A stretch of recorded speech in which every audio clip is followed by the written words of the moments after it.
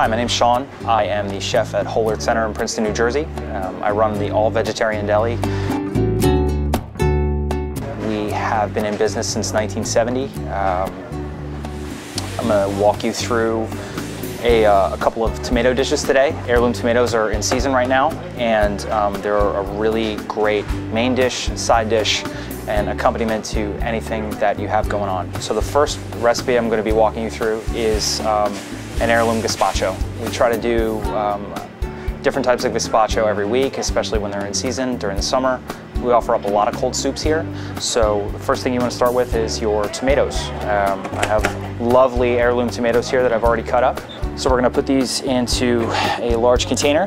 On this side here, I have about two cups each of zucchini, uh, yellow summer squash, some English cucumbers or hothouse cucumbers, and some shallots. So what we're gonna do is we're gonna plug in our stick blender, and if you don't have a stick blender, you can obviously use a food processor or a blender at home. You're just gonna have to do it in batches. Uh, but for our purposes, we're gonna use this large container here and this really almost intimidating stick blender. So what you wanna do um, when you're making a gazpacho is you want to have that soup-like consistency. So what I find the best when you make a gazpacho is this um, very veggie juice. Um, it cuts the acidity of the tomato and it makes, um, it's a really nice accompaniment and it kind of mellows out the flavor and keeps everything nice and balanced so you can taste all the ingredients. Um, so we're going to add two bottles of this to our, this is, I want to say this is about 8 to 10 pounds of tomatoes. You want to make sure it's nice and mixed up. Okay, you're going to add one bottle. Then you're going to add a second bottle.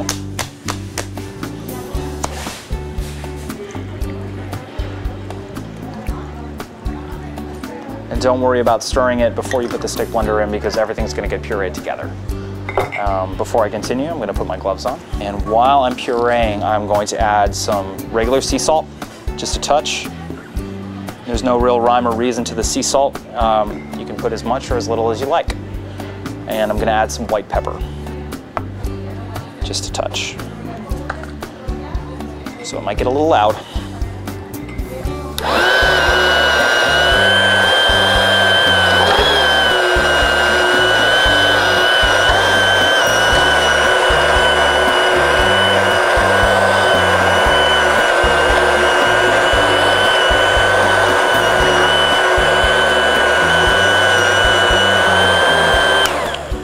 Now before I continue, I wanted to add that the reason we use the veggie juice is that not only does it cut the acidity of the tomato, but it also keeps a beautiful red color, um, which you don't really find when you're using raw tomatoes. Um, so it keeps that nice, deep, rich red color, so all the greens and the yellows and the purples can come out and you end up with a really beautiful dish.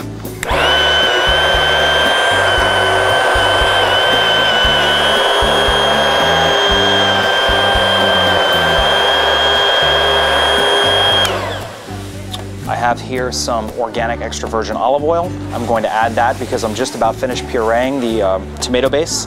Um, it gives it a nice kind of richness uh, to the gazpacho, and you don't really need so much.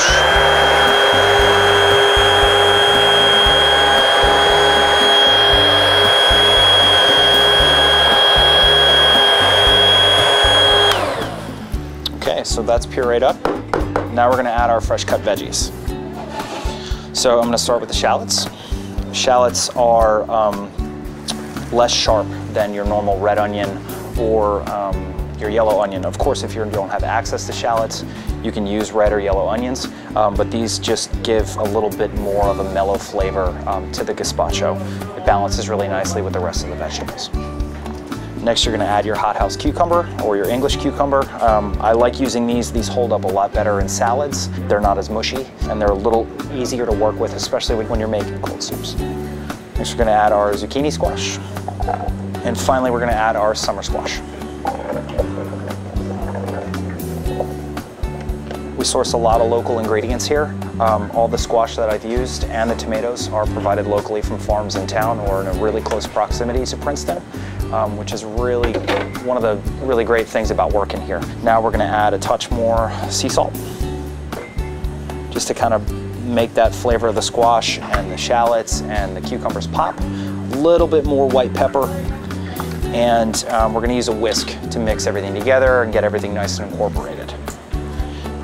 If you don't have access to a whisk, of course, you can use uh, a spoon or a spatula, anything you have lying around. And there you have it. There's our heirloom tomato gazpacho, sourced with local squash, local shallots, some really nice extra virgin olive oil, and I hope you enjoy it. Thanks.